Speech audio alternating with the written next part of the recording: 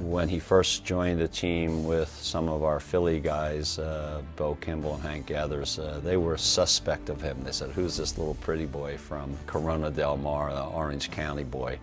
And after about three days of practice, they said, Coach, Fryer's fine because he's a killer. like, he was as tough, if not tougher than them as a competitor, and that, that was saying something. So uh, Fryer was immediately embraced into their community.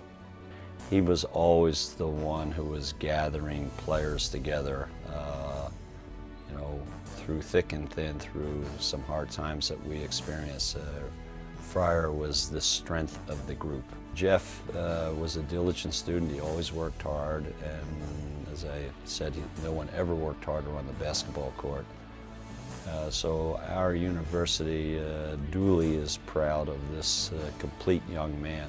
On behalf of Loyola Marymount University, it is my pleasure to induct Jeff Fryer into the 2014 West Coast Conference Hall of Honor.